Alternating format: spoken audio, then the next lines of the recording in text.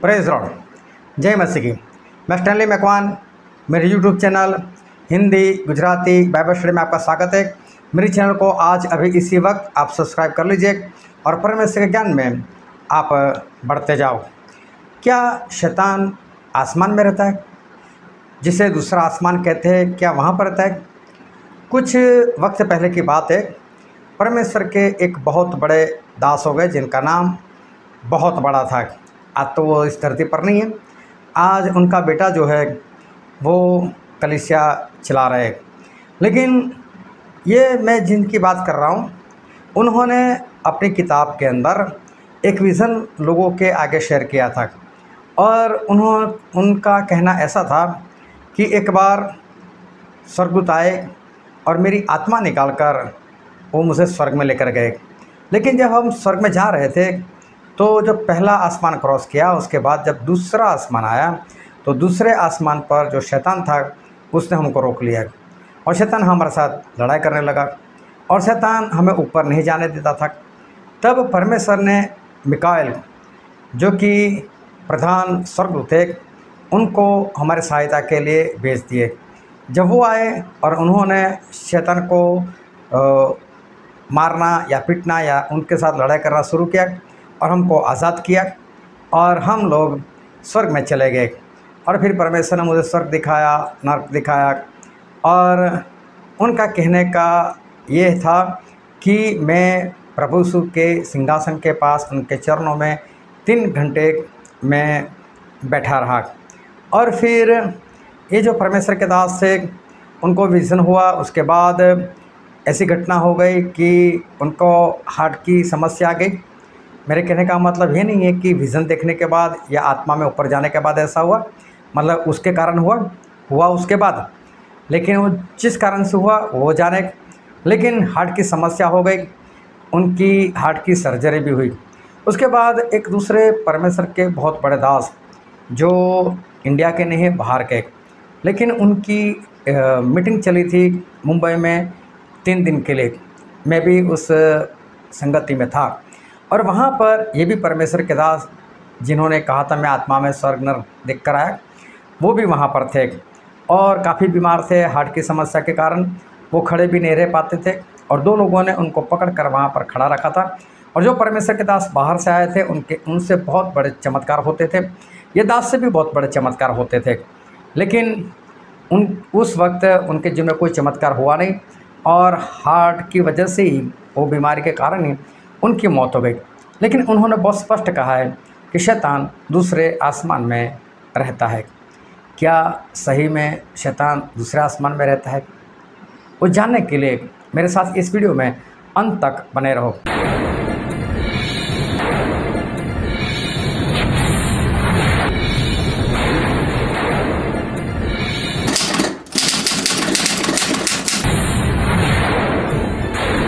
क्या शैतान दूसरे आसमान पर रहता है? वो जहाँ पर भी रहता है, हमें उससे क्या लेना देना? नहीं, ऐसी बात नहीं है। ये जानना हमारे लिए बहुत ही ज़रूरी है। वो हमारा दुश्मन है और हमारी उस शैतान के साथ लड़ाई है। इसलिए शैतान को जानना और समझना और वो कहाँ रहता है, वो हमारे लिए जानना बहुत ज़रूरी है। और बाइबल में एफीसी उसका अध्याय छः और उसका बारह वचन हम पढ़ते हैं, क्योंकि हमारा यह मल युद्ध लहू और मांस से नहीं, परंतु प्रधानों से और अधिकारियों से और इस संसार के अंधकार के हाकिमों से और उस दुष्टता के आत्मिक सेनाओं से है, जो आकाश में है। यहाँ पर स्पष्ट लिखा है कि हमारा जो युद्ध है, वो शैतान की सेना से है, उसके हाकिमों से, जो आकाश में है। इसका मतलब हमारा जिसके साथ युद्ध है, वो शैतान है, उसकी सेना है, और वो लोग कहाँ पर है? तो वो लोग आकाश में मतलब कि स्वर्ग में है? दूसरे स्वर्ग में। यही वचन को लेकर ज़्यादातर लोग यही समझते हैं कि शैतान वो दूसरे आसमान में या आकाश में वो रहता है। दानियल, जो परमेश्वर के बहुत बड़े भविष्यवक्ता हो गए, वो दानियल को कुछ दर्शन हुआ, लेकिन दर्शन की समझ नहीं आई। जब दर्शन की समझ नहीं आई तो दानियल ने परमेश्वर से प्रार्थना की। परमेश्वर ये दर्शन क्या कहना चाहता है उसकी समझ तो मुझे दो। लेकिन दानियल को परमेश्वर की ओर से कोई उत्तर नहीं मिला। तो दानियल उपवास करने लग गए। और उपवास के साथ परमेश्वर से की बात, परमेश्वर ये दर्शन बताओ, परमेश्वर दर्शन बताओ, मुझे कुछ सिखाओ, ये दर्शन समझाओ मुझे। लेकिन ऐसे करते करते करते 21 दिन हो गए। और 21 दिन हो गए, तब तक दानियल को कोई उत्तर नहीं मिल रहा। लेकिन इक्कीसवें दिन ऐसा हुआ कि वो एक नदी के किनारे थे और अचानक से उनको एक विज़न हुआ। और ये विज़न नहीं, ये तो हकीकत थी कि स्वर्ग से एक स्वर्गदूत आए। और स्वर्गदूत आए तो उनका चेहरा देखकर, वो प्रकाश देकर, वो तेज देकर, ये जो दानियल हैं, उनमें होश नहीं रहा, उनमें शक्ति नहीं रही, वो गिर पड़े और खड़े नहीं रह पाते थे। तो स्वर्गदूत ने उनको हाथ लगाकर उनको खड़ा किया और कहा कि, दानियल, अति प्रिय इंसान तो परमेश्वर के लिए अति प्रिय है। डर मत। जिस दिन तूने प्रार्थना में और ये विज़न समझने में तेरा मन लगाया था, उसी दिन से तेरी प्रार्थना सुनी गई थी। लेकिन जब मैं तेरी विनती की खातिर में ऊपर से नीचे आ रहा था, तब ईरान का सरदार, क्योंकि उस वक्त ईरान का जो राजा था, वो पूरी धरती के ऊपर राज कर रहा था। तो बोले, ईरान का सरदार। मतलब ईरान का सरदार मतलब जो ईरान के ऊपर राज कर रहा था, वो राजा नहीं।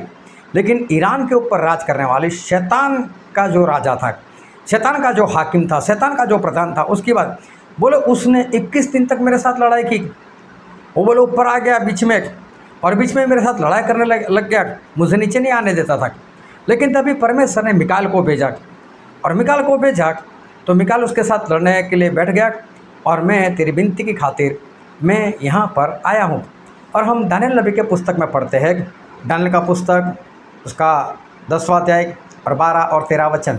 फिर उसने मुझसे कहा, हे दानियल मत डर, क्योंकि पहले ही दिन से जब तूने समझने, बुझने के लिए मन लगाया और अपने परमेश्वर के सामने अपने को दिन किया, उसी दिन तेरे वचन सुने गए और मैं तेरे वचनों के कारण ही आ गया हूँ। फरस के राज्य के प्रधान 21 दिन तक मेरा सामना किए रहा। परंतु मिकायल जो मुख्य प्रधानों में से है वह मेरी सहायता के लिए आया। इसलिए मैं फारस के राजाओं के राजाओं के पास रहा। देखो, यहाँ पर स्वर्गदूत ने बताया कि 21 दिन तक मेरी लड़ाई चलती रही लेकिन जब मिकाल आए, तब मैं वहाँ से निकल आया और उसने मुझे छुड़ाया और मैं तेरे पास यहाँ पर आ चुका हूँ। इसलिए लोग ऐसा मानते ये वचन के कारण। कि शैतान जो है, वो दूसरे आसमान में रहता है। लेकिन बाइबल हमसे क्या कहता है? और देखो, बाइबल में वचन पढ़ते इफिसी, उसका दूसरा अध्याय, और हम पढ़ते उसके पहले वचन से लेकर उसके छः वचन तक। और उसने तुम्हें भी जिलाया जो अपने अपराधों और पापों के कारण मरे हुए थे। यहाँ पर ऐसा लिखा है, उसने मतलब परमेश्वर ने तुम्हें जिलाया। कब जिलाया तो बोले, जब तुम पापों में और अपराधों में मरे हुए थे। तो पाप में होना, क्या मर जाना है? क्या हम पाप में जीवन जीते, इसका मतलब हम मरे हुए? नहीं, हम तो ज़िंदा है। हम ऑक्सीजन ले रहे, हम खाना खा रहे, हम पानी पी रहे, सभी तो हम कर रहे। जब परमेश्वर ने आदम को कहा था कि आदम, जिस दिन तू फल खाएगा, उसी दिन मर जाएगा। लेकिन वो तो 930 साल तक ज़िंदा रहे, हवा भी तो ज़िंदा रहे। तो उन्होंने फल खाने के बाद पाप तो ज़रूर आए लेकिन उनकी मौत नहीं हुई थी। लेकिन परमेश्वर ने क्या बोला? जिस दिन खाओगे, उसी दिन मरोगे। तो परमेश्वर का कहने का मतलब है कि जिस दिन पाप करोगे, पवित्र आत्मा आपके अंदर से निकल जाएँगे। पवित्र आत्मा निकल गए तो समझ लो कि मेरी निगाह में तुम मरे हुए। तो जब हम पापों में थे, जब हम पापों में, अपराधों में होते तो पवित्र आत्मा हमारे अंदर नहीं होते। तो ऐसी अवस्था में परमेश्वर हमें क्या समझते? ये मुर्दा है, ये मरा हुआ है। लेकिन जब हम पापों में थे, अपराध में थे, मुर्दे थे, तब हमारे परमेश्वर ने हमको जिलाया। फिर मैं आगे पढ़ता हूँ। जिनमें तुम पहले इस संसार की रीति पर और आकाश के अधिकार के हाकिम, अर्थात उस आत्मा के अनुसार चलते थे, जो अब भी आज्ञा न मानने वालों में काम करता है। इनमें हम भी सब के सब पहले अपने शरीर की लालसाओं के लालसाओं में दिन बिताते थे और शरीर और मन की मनसाएँ पूरी करते थे और लोगों के समान स्वभाव ही से क्रोध की संतान थे। अभी हमारे लिए परमेश्वर ये सारी बातें बता रहे और आगे मैं पढ़ता हूँ। परंतु परमेश्वर ने जो दया का स्वामी है, उसने उस बड़े प्रेम के कारण जिससे उसने हमें प्रेम किया जब हम अपराध, अपराधों के कारण मरे हुए थे तो हमें मसीह के साथ जिलाया, अनुग्रही से तुम्हारा उद्धार हुआ है और मसीह यीशु में उसके साथ उठाया और स्वर्गीय स्थानों में उसके साथ बिठाया। अब यहाँ पर जो वचन मैंने पढ़ा, उसका मतलब तो ऐसा होता है कि जब हम पापों में थे, अपराध में थे, तब परमेश्वर हमको मुर्दा मानते थे। लेकिन परमेश्वर हमको जिलाया मतलब परमेश्वर ने अपना लहू दिया हमें लहू से शुद्ध किया पवित्र किया जब हम बपतिस्मा लेते, तब वो पानी हमारे लिए प्रभु का लहू का काम करता है और हमें शुद्ध करता है, हमें पवित्र करता है। और जैसे ही हम पवित्र होते हैं तो परमेश्वर अपना आत्मा मतलब पवित्र आत्मा हमें देते जब पवित्र आत्मा हमारे अंदर आ जाते तो कहा जाता है कि हम जिलाए गए। जो आत्मा हम खो बैठे थे, जो आदम के ज़रिए हम खो बैठे थे वो आत्मा बपतिस्मा के ज़रिए एक बार फिर हमको मिल जाते और हम वापस ज़िंदा हो जाते। और जब हम ज़िंदा हो जाते तो परमेश्वर का वचन क्या कहते हैं कि और स्वर्गीय स्थानों में प्रभु सु के साथ हमको बिठाए क्या बपतिस्मा के बाद, पवित्र आत्मा पा लेने के बाद आप स्वर्ग में चले गए? क्या परमेश्वर के साथ उनके सिंहासन के ऊपर दाहिने ओर बैठ गए क्या? नहीं। हम तो इसी धरती पर है। उन्हीं लोगों के बीच में, जिसमें पहले भी जीवन जिया करते थे, उन्हीं लोगों के बीच में। वही मंडली में है ऐसी ही जगह पर है लेकिन परमेश्वर क्या बोलते हैं? मैंने तुम्हें स्वर्गीय स्थानों में प्रभु सु के साथ बिठाया। तो कहने का मतलब क्या है? कहने का मतलब ये है कि पहले हम संसार में जीवन जीते थे। अब हम स्वर्गीय जगह में आ गए। बस स्वर्ग के लोग कैसे जीवन जीते? बिना पाप जीवन जीते। वो लोग परमेश्वर की आज्ञाकारी लगातार करते। तो हम भी जब मसीह यीशु में आ जाते हैं, जिलाए जाते हैं तो हम भी क्या करते हम भी संगति में रहते हम भी पाप से दूर रहते हम भी परमेश्वर के साथ संगति किया करते दूसरी बात कि जब हम मसीह में आते परमेश्वर में आते जिलाए जाते तो अब हमारे जीवन में चमत्कार होना शुरू हो जाता है। अब परमेश्वर हमारे जीवन में चमत्कार करते हमारी आर्थिक ज़रूरतें पूरी करते हमारी शारीरिक, मानसिक ज़रूरतें पूरी करते कुछ भी हमें ज़रूरत होती है तो परमेश्वर पैसों से नहीं लेकिन चमत्कार से हमारे जीवन में काम करते हैं। अब हम ऐसा वैसा जीवन नहीं जीते, अब हमारे जीवन में चमत्कार होता है। हम बड़ी बड़ी गवाही देते हैं कि देखो, प्रभु सुमाया तो मेरा ये हो गया, मेरा ऐसा हो गया। पहले मुझे ये बीमारी थी, ये बीमारी मेरी चली गई। पहले मैं कमज़ोर था, मुझे बल मिल गया। पहले मेरी कमाई इतनी नहीं थी, अब मेरी कमाई बढ़ गई। हम बहुत कुछ गवाही देते, अब चमत्कार होने लगते। क्यों? क्योंकि हम स्वर्गीय स्थान में आ गए। तो स्वर्गीय स्थान में आना, बस स्वर्ग में चला जाना नहीं, इसी धरती पर हम रहते उसी तरह से परमेश्वर का वचन जो एफ़ सी छः के बारह में हमने पढ़ा। हमारा मल युद्ध हाकिमों से, प्रधानों से, शैतान की सेना से है, जो कहाँ पर है? जो स्वर्ग में है, जो आकाश में तो वो आकाश में नहीं मतलब उन लोगों से वो लोग लड़ाई करते हैं, जो स्वर्ग में चले गए।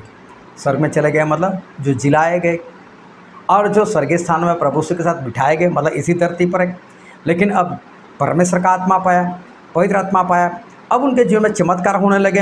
अब जो संसार की रीति पर नहीं चलते, संसार की अभिलाषाओं में नहीं चलते, अपने मन की मनसाओं के ऊपर नहीं चलते, अब वो लोग परमेश्वर में जीवन जीते, जैसे सर्वदूत जीवन जीते, वैसे जीवन जीने लग जाते। तो इसलिए कहा गया कि मैंने तुम्हें स्वर्ग में बिठाया और उसी जगह पर शैतान हमारे साथ लड़ाई करने के लिए आता है।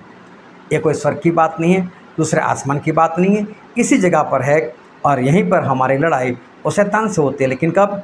जब हम मसीह में आ जाते हैं, तब। शैतान जो था, उससे जब पाप किया तो बाइबल में ऐसा लिखा है कि शैतान को और उसके साथ जितने भी उसके साथी थे, उन सभी को पृथ्वी पर गिराया गया। ऐसा बाइबल में लिखा है। और बाइबल में वचन पढ़ते हैं, प्रकाशित वाक्य, उसका बारह अध्याय, और वचन सात से लेकर नौ। फिर स्वर्ग पर लड़ाई हुई मिकाएल और उसके सरदूत अजगर से लड़ने को निकले और अजगर और उसके दूत उससे लड़े। परंतु प्रबल न हुए और स्वर्ग में उनके लिए फिर जगह न रही और वह बड़ा अजगर, अर्थात वही पुराना सांप, जो इबलिश और शैतान कहलाता है और सारे संसार को भरमाने वाला है। पृथ्वी पर गिरा दिया गया और उसके दूत उसके साथ गिरा दिए गए। अभी देखो यहाँ पर क्या लिखा है। वो शैतान, वो इबलीस जो पूरे संसार को भरमाता है, उसको इस धरती पर फेंका गया उसके दूतों के साथ। और साथ में क्या लिखा है?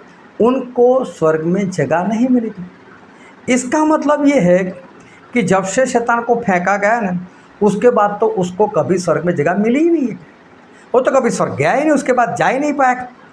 तो अब उसके लिए स्वर्ग में जगह नहीं। तीन स्वर्ग। मतलब तीन आसमान है। अभी उसके लिए आसमान में जगह है ही नहीं। ना वो पहले आसमान में जा सकता है, ना दूसरे, ना तीसरे कहीं पर भी नहीं जा सकता जब से उसको गिराया गया, तब से वो कहीं पर स्वर्ग में नहीं जा सकता। और इसलिए हमारी लड़ाई स्वर्ग में कैसे हो सकती? वो कहाँ स्वर्ग में है? लेकिन स्वर्ग कहने का मतलब है कि स्वर्ग में जैसा जीवन है, वैसे चमत्कार वाला जीवन। अगर इस धरती पर हो तो उसे कहा जाता है स्वर्गीय जीवन। जब हम मसीह में आ जाते हैं तो हमारा जीवन ऐसा ही हो जाता है। आज मेरी आयु छप्पन साल की है और छप्पन साल की आयु में मुझे कोई बीमारी नहीं, ना ब्लड प्रेशर ना डायबिटीज़ कुछ भी नहीं। तो यही है स्वर्गीय जीवन। स्वर्ग में कोई बीमारी नहीं है। तो परमेश्वर ऐसा जीवन हमें देते और अगर गलती से किसी के जीवन में कुछ हो गया तो एक प्रार्थना करो, शैतान को डांटो, बीमारी भाग जाएगी। चमत्कार होता है। पैसों की ज़रूरत, कोई बात नहीं। प्रार्थना करो, परमेश्वर भेज देंगे। कोई भी चमत्कार करेंगे परमेश्वर। लेकिन हो ही जाएगा। तो उसे कहते हैं स्वर्गीय जीवन तो इसलिए परमेश्वर ने लिखा कि मैंने तुम्हें स्वर्गीय जगहों में बिठाया। और स्वर्ग में तो शैतान भी है। मतलब बाकी जो लोग हैं, जिन्होंने अभी तक मन नहीं फिराया, बपतिस्मा नहीं लिया तो वो तो अभी भी संसार में है। वो तो शैतान की ही है। उसके साथ शैतान थोड़ा लड़ने वाला है। शैतान हमारे जैसे लोगों के साथ लड़ेगा, जो स्वर्ग में बिठाए गए, जिनके जीवन में चमत्कार होने लगे। इसलिए लिखा है कि हमारी लड़ाई शैतान से है। जो आकाश में है। तो कहने का मतलब यह है कि जब हम स्वर्गीय जीवन इस धरती पर जीते, तब हमारे शैतान के साथ लड़ाई होती है। तो शैतान स्वर्ग में जा नहीं सकता, किसी आकाश में जा नहीं सकता और वहाँ पर नहीं, इसी धरती पर हमारी लड़ाई है और आप खुद अनुभव भी कर रहे हैं। तो फिर जो शैतान है, वो रहता कहाँ है? उसकी रहने की जगह कहीं कहाँ है? और वो भी मैं आपको बता देता हूँ कि शैतान की रहने की जगह कहाँ है।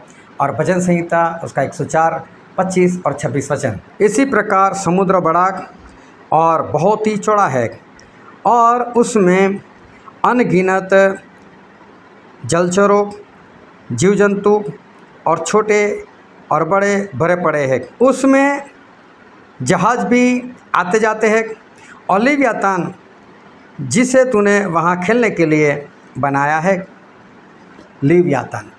ये लिव्यातान शब्द जो है ना, वो हिंदी नहीं है, वो इब्रानी शब्द है। और ओलिवियातान का मतलब होता है समुंदर में रहने वाला राक्षस। मतलब ये जो लिव्यातान शब्द है, वो शैतान के लिए लिखा गया है। तो शैतान कहाँ पर रहता है? बोले समुंदर में।